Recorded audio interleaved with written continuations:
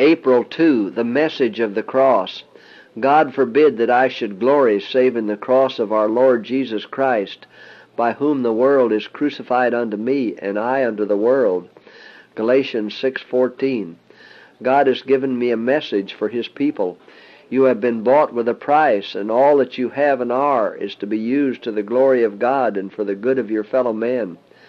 Christ died on the cross to save the world from perishing in sin. He asks your cooperation in this work. You are to be his helping hand. With earnest, unwearying effort, you are to seek to save the lost. The transforming power of Christ's grace molds the one who gives himself to God's service. No longer can he be indifferent to the souls perishing around him.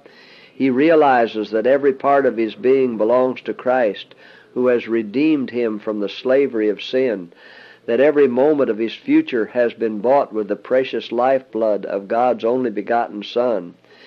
Have you so deep an appreciation of the sacrifice made on Calvary that you are willing to make every other interest subordinate to the work of saving souls?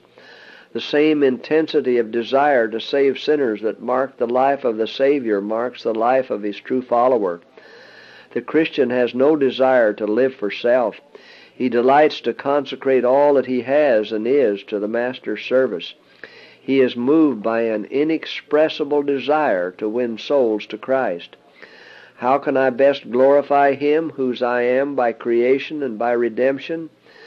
This is to be the question that we are to ask ourselves.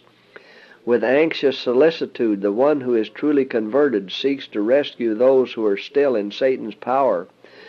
We have now only a little time in which to prepare for eternity.